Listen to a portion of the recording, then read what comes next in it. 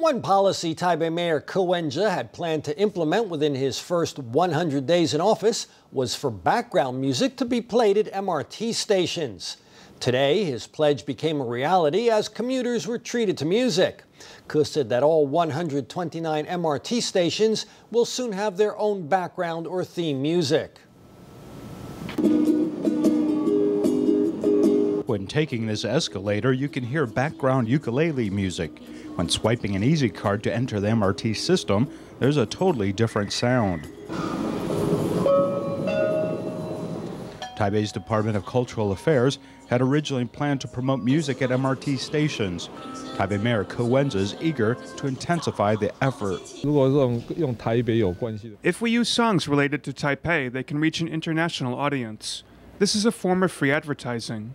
I hope that each MRT station can have special background music or even a theme song.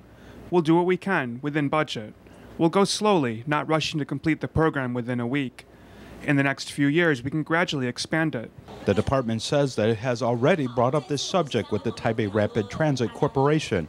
Expects commuters to regularly hear music in MRT stations later this year.